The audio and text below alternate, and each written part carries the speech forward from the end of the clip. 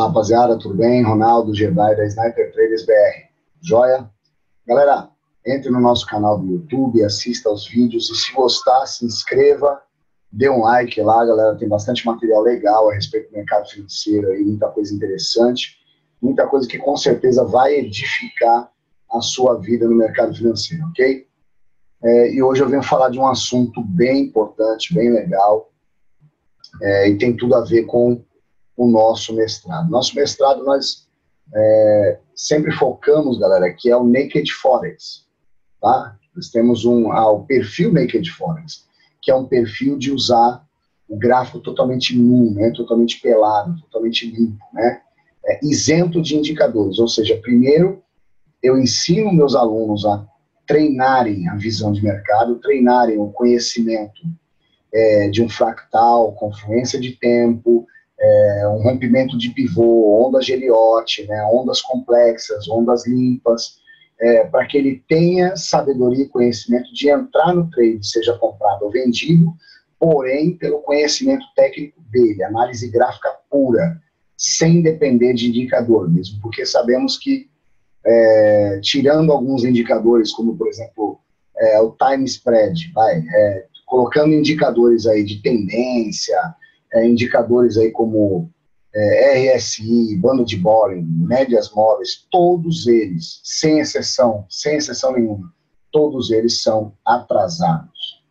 Então, é, você tem que ter o time da entrada, da compra ou da venda pelo teu conhecimento técnico, pela leitura gráfica que você desenvolveu, é, principalmente aqui conosco no nosso mestrado, ok? Então, aqui nós ensinamos isso. Aqui nós ensinamos você a aprender a olhar uma tendência secundária, primária, terciária, né, olhar um fractal e saber entender uma confluência de tempos para que você tenha o time exato da entrada, ok, galera? Vou colocar um algo aqui para vocês, uma, uma, uma charadinha, né, que eu coloquei, tá aqui, galera. Trader no mercado. Na verdade, aqui é uma pessoa né, é, sem sem nenhuma, nenhum preconceito, sem querer expor a pessoa, mas é, a questão aqui é que é uma cena que me faz pensar exatamente no mundo é, do mercado financeiro, e aí, na verdade, não é o mercado financeiro, mas é um mercado, né? Não sei se essa pessoa é trader, mas ele é uma pessoa que tem é, uma deficiência física e que grande massa dos traders têm essa deficiência também, mas não física, ok? Tem uma deficiência no seu conhecimento, ou seja, essa pessoa, ela é cega. E aí eu escrevi embaixo aí, ó, você sabe o nome desse, é, do cachorro dele? O nome do cachorro dele, ele mesmo está falando ali com o cachorro, né? Como eu coloquei. Ele disse assim, vamos lá, indicador, me mostre aonde eu compro. É exatamente a condição de uma grande massa de traders que dependem de indicadores para saber onde compra ou onde vende, ok? Essa é a sua condição se você ainda depende de um indicador para te falar aonde você compra ou aonde você vende. Você é um cego no mercado, ok? Galera, o indicador ele pode ser até mesmo o teu grande amigo pode ser um grande aliado para você, mas ele não pode ser nunca, jamais o teu guia. Ele não pode ser o teu guia.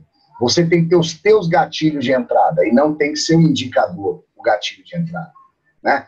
Você tem que ter uma boa análise de price action, você tem que ter uma boa análise é, de fractal, você tem que ter uma boa análise de mercado, naked, totalmente limpo, para que então, a partir disso, você possa é, também consultar o indicador e ver se de repente esse indicador está concordando com a tua análise, ok? Então, galera, vou aqui mostrar para vocês. É, nós, na nossa, no nosso mestrado, nós ensinamos pelo menos umas sete técnicas fantásticas, sem dúvida nenhuma, que você não vai depender de indicador nenhum e tem uma técnica que eu uso ela no final de tudo, para que eu tenha certeza que os meus alunos já atingiram o nível profissional. Aí sim eu ensino uma técnica onde nós usamos é, dois é, indicadores, dois ou três indicadores como parceiros, como amigos e não como guia. O indicador não é o teu guia, põe isso na cabeça. Ele não pode dizer para você para onde você vai, se você compra você, ou se você vende. Não pode. Isso tem que ser feito pela tua análise gráfica, ok? Pela tua visão, pelo teu feeling, ok, galera? Tá? Então, nós, na nossa mentoria, é, nós, até eu, eu abençoo aí os meus alunos com alguns indicadores é, que eu particularmente tenho, com os templates que uso, é, em cada momento eu estou com, é, com um indicador, com um template, né? Porém, os indicadores que eu uso, vocês vão ver aí, ok? Os templates que eu uso, vocês vão ver aí, 99% do tempo são templates limpos, puros. São totalmente naked para a visão de mercado de compra ou de venda. Tá? Pô, nós está falando que trabalha com indicador sim. Vou mostrar para vocês o que eu quero dizer quando eu falo sobre eu tenho também e uso também alguns indicadores.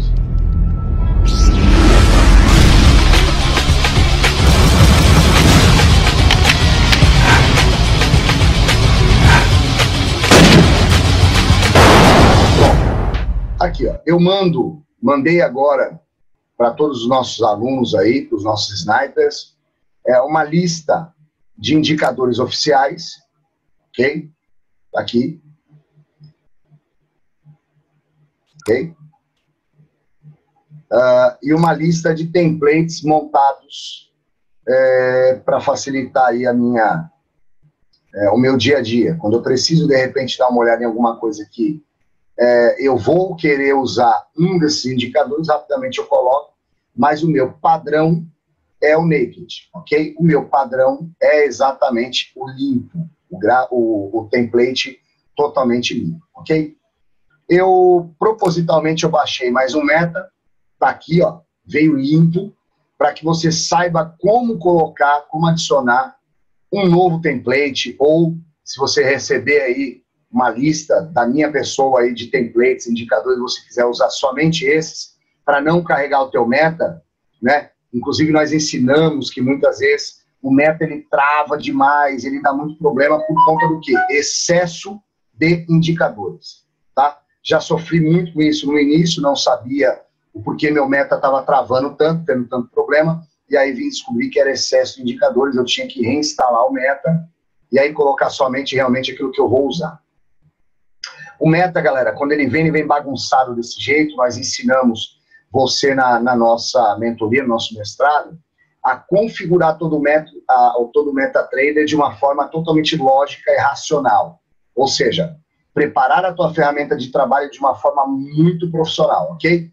Porém, vamos falar agora somente de instalação é, de indicadores e templates. Você baixou o Meta, você já entrou é, com a teu login e senha, ok? Coloquei aqui um meta. E aqui, ó, tem os indicadores que veio é, por padrão nele, ok? Aqui também tem é, dois robôs, veja aqui, ó, EA, né? É, Expert Advisor, é, mas não são robôs que vai dar a entrada, ordem de compra e venda para vocês, não, galera, ok? Todo sistema automatizado que te indique alguma coisa, que vai te dar um alerta quando bater ali numa resistência, num suporte, num número psicológico, etc., vai ser chamado de robô porque ele tem uma.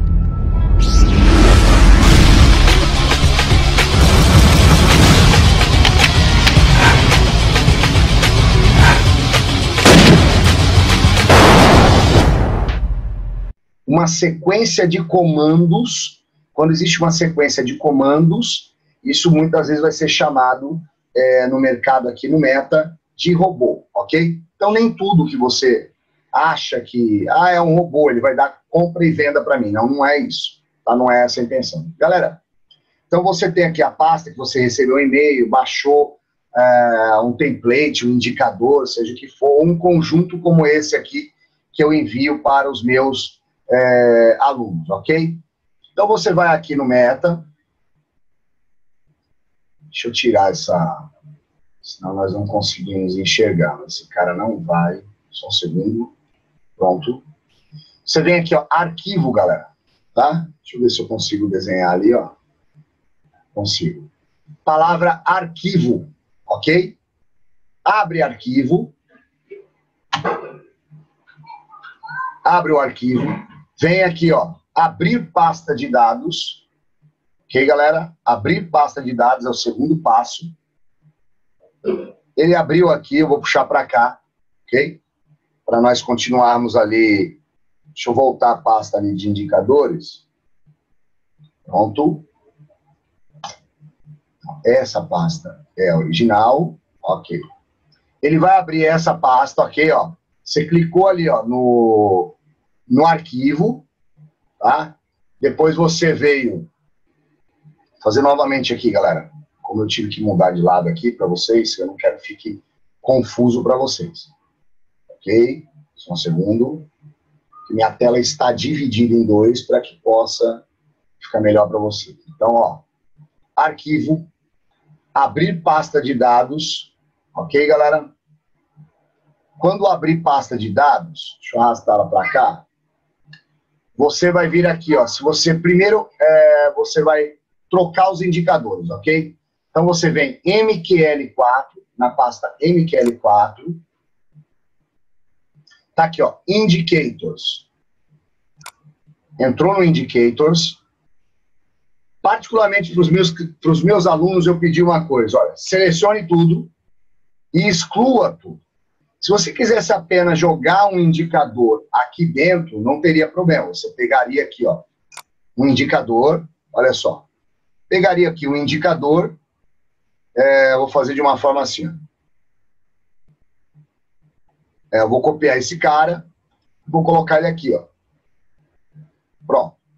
Ok? Acrescentei um indicador. Beleza. Olha só o nome dele, ok? O nome que eu dei para ele é mentoria D.adr.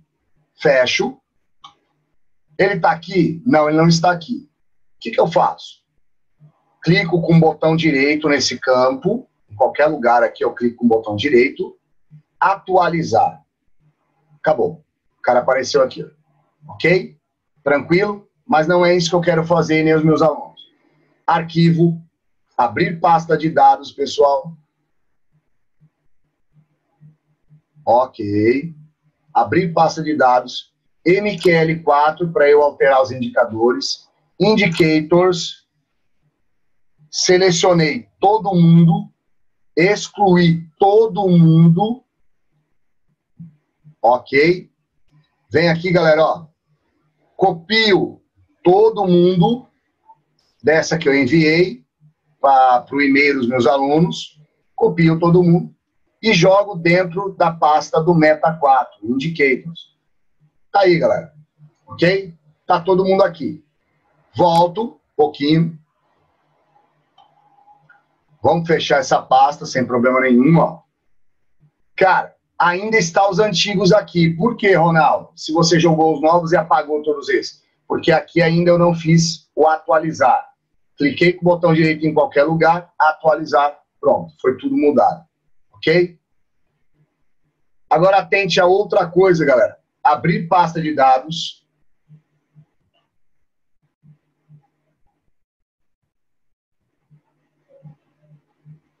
ok? MQL5, MQL4, Experts, ok? Aqui, dentro da, da pasta do próprio uh, MQL4, acima dos indicadores tem Experts. Aqui é onde você coloca normalmente os robôs, ok? Pode apagar os que estão aqui, sem problema nenhum. Pague todos pega esse que eu enviei, o TradePad A, ok? Arraste aqui para dentro. O cara tá aqui, ó, ok? Aqui é a pasta de robôs, a Experts. Dentro de MQL4, Experts. Ok? Fecho, tá? Ó, ele não tá aqui ainda, ainda tá o antigo. Por quê? Atualizar, galera. Atualizei, pronto, já tá o Trade A aqui, o TradePad EA, ok? É um robô, Ronaldo? Você está disponibilizando? É, mas não tem nada a ver com um robô de compra e venda é, de ativos, ok? Não tem nada a ver, você vai ver o que é esse robô. Agora, por último, template. Abrir pasta de dados. Templates. Ok. Aqui são os templates que vieram nele originalmente. Se apaga todos. Você pega o template que você quer, que você recebeu, que você tem, enfim, ok? São os que eu enviei.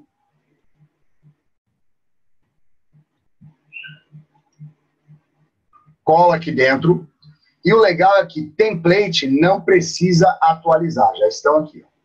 Todos os que eu enviei, pode conferir ali do lado direito, já estão aqui. Ok? Todos eles. Então agora, galera, olha que beleza. Eu não preciso mexer em nada aqui, eu poderia vir aqui, abro um gráfico, tenho template e escolho o template que eu mais uso, que é o Naked. Pronto. Tá aí o template é, que eu mais uso, que é um template limpo, né? Ok? Uh, ele tem algumas coisas já dentro dele que eu falei que eu uso alguns indicadores, ok? E até para que você veja, Ctrl I, pode ser por aqui no Ctrl I. Olha só, eu tenho aí o time spread, eu tenho um, um indicador que eu chamo de PSC, e eu tenho um indicador que é o ADR, ok? É, o time spread, galera, é esse cara aí. Vamos, deixa eu acionar aqui a minha ferramenta de, de desenho time spread é esse cara. Time é o tempo que falta para fechar o, esse candle que está ativo, tá? E o spread tá aqui, ó. Então, no mesmo indicador, eu já tenho o spread em pontos, ok? O spread não é em pips, é em pontos. O spread em pontos. Eu tenho também é, o tanto que falta, no caso aqui é um candle diário, é um gráfico diário, faltam 35 minutos e 38 segundos para fechar esse candle, ok? Então, esse é um dos indicadores. O outro indicador que você viu, PSC, galera, eu tenho aqui linhas, ok? De 50 e 50 pips, 500 e 500 pontos, que me dizem os pontos que são fortíssimos e que o mercado pode muito bem dar uma travada ok? Nós ensinamos muito bem isso aí na mentoria, não é o caso aqui agora. Só para que você saiba.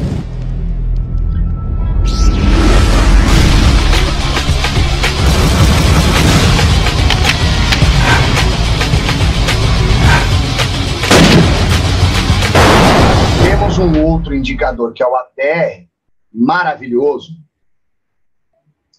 Deixa eu ver se eu consigo colocar a ferramenta aqui ao lado. e desenhar ao mesmo tempo. Não, vai ser difícil. Não tem problema. É... Deixa eu ver. Hum, vou fechar. Beleza. Vamos lá. Aqui esse cara tá me dando, galera, quantos pips o mercado já andou hoje? Te odeio. Quantos pips no último dia que ele está configurado dessa forma, nos últimos sete dias, é, qual a média de pips que o mercado tem andado? 48. Hoje, ele já andou até agora, faltando 34 minutos para fechar o dia, 29 pips. Ok? Então, é, esse outro detalhe aqui, ó, é, today versus o ATR, 61%, significa o quê? Quanto que esses 29 pips são equivalentes aos 48 do dia em porcentagem. Equivale a 61%, ok? Tá? É, esse cara também ele dá uma referência, ok, galera? Ele vai me dar uma referência que é, se você pegar aqui, ó, deixa eu pegar uma outra ferramenta. Pronto, ficou melhor agora. Se você pegar a projeção, ele te dá a projeção para cima. Então ele pega da mínima do dia, ele pega e calcula o ATR, e ele te dá que a taxa da mínima até a máxima, levando em conta a média dos últimos sete dias, vai ser exatamente essa taxa de câmbio aqui, ok? Esse valor vai estar aqui. É, outra, outro detalhe agora, ao lado. Ao lado é o contrário. Ele vai te falar o quê? Ele vai pegar da máxima do dia, colocando a quantidade de ATR que eu faço em média no dia, até que ponto vai chegar, provavelmente, se respeitar a média, é, o dia até onde os canos vão chegar, onde vai bater na taxa de cotação. Ele te dá ali, ó, projeção, tal, ok? Muito legal também é isso aqui, ó. Muito legal isso aqui, ele vai te falar quanto vale o valor de um PIB nessa moeda. Nós ensinamos muito bem calcular isso, até de cabeça, ok? Para pares que têm dólar como cotação, pares que têm o dólar como base, para pares cruzado também. Nós ensinamos tudo isso, tá? Ele dá também para você o spread atual, tá aqui, que você também tem aqui o spread, e ele vai te dar um algo muito interessante. É, como é que eu vou? Bom, o custo da operação. Se você pegar o valor do spread agora, pelo valor que vale um PIB, e você ainda vê o tanto que falta para caminhar, ele vai te falar se vale ou não a pena você ainda entrar na operação. Qual o custo da operação? Bom, levando em conta o valor do spread e o valor do PIB, o custo da operação ainda é muito baixo, 0,2%. Quando isso chega a 0,5%, 0,6%, você já tem que pensar muito se vale ou não a pena entrar no trade. Principalmente scalping e day trade, ok, galera? Para quem é swing, não tem problema, tá bom? Quem é swing, não tem problema. Agora, vamos lá, eu vou abrir a pasta novamente e vou mostrar para vocês o robô. Ah, pô, Ronaldo, o que, que era o robô? Ok, galera. Nada mais e nada menos do que isso aqui. Abre novamente o navegador. Você pode arrastar ou dar os dois cliques para ativá-lo, ok? Pronto, coloquei aí o robô. Posso mexer com ele para onde eu quiser. Isso é um robô. Porém, não compra e não vende sozinho. Ele vai depender de é, eu mesmo fazer essa operação através dos comandos que ele tem. Então, olha, se eu colocar aqui, ó, lote fixo, ele vai fazer sempre, uh, e eu comprar ou vender por ele, ele vai pegar o valor que tem nessa conta e ele vai calcular o tamanho do lote, já que eu coloquei, é, aliás, esse é lote fixo, desculpe. Então ele vai pegar o valor dessa conta e ele vai operar sempre com lote fixo de 2. Eu coloquei 2. Se eu colocar 1,90, toda a ordem que eu entrar, ele vai entrar com lote de 1,90. Bom, então, toda vez que você comprar, ok? Você comprar ou vender por aqui, ele vai estar entrando é, com 1,90 porque você escolheu o lote fixo. Se você quiser fazer a sua operação por porcentagem, então você coloca aqui, ó, 1%, por exemplo. Ok? 1% da compra. Tá? Toda vez que você entrar na operação por aqui, ou é, não tem problema também se for por um clique, ok? Bom, toda vez que você comprar e você vender pelo robô, ele vai calcular pelo valor que você tem na banca ou que você tem na conta vai calcular o tamanho do teu stop e ele vai então entrar com um lote adequado para você arriscar apenas 1% da tua conta, ok? Tá? Isso é o robô, tá, galera? Então, é, tá aí, os templates estão aqui, ó, você pode colocar o, o naked full, aliás, a, o template full, ok? O limpo, você também pode fazer uma jogada, galera. Escolhe, por exemplo, o naked, é, o limpo, por exemplo. Olha, tá aqui. Toda vez que eu abrir uma moeda, o que, que vai acontecer? Essa moeda, ela vai estar assim, padrão, né? Eu abri uma moeda aqui, ela vai estar assim. Toda vez que eu abrir uma moeda, ela vai estar assim. Ok? Então, eu vou fechar essas moedas e vou mostrar para você. É, vou abrir uma moeda, tá? Vou abrir, vou colocar uma moeda aí no gráfico, tá? Tá aí. Viu? Ela vem dessa forma, ok? Porém, se eu fizer isso aqui, ó, galera. Salvar, vou colocar o naked primeiro. Agora eu venho aqui, ó. Salvar template. Ok? E eu vou colocar de full. Ok? O nome desse template que eu estou criando agora é o default, mas eu só estou, na verdade, copiando o mesmo template naked com o nome default. Salvo. E para a linguagem do MetaTrader, agora aconteceu algo. Toda vez que eu escolher qualquer moeda e mandar jogar no gráfico, ele não vem mais daquela forma toda desconfigurada. Porque agora existe um template com o nome default ok? Segue a dica. Não sejam aí escravos, ok, galera? Não sejam escravos de indicador. Deixe que o indicador te ajude, seja um bom amigo, porém não que ele guie você, ok? Segue a dica aí. Um abraço a todos. Jedi.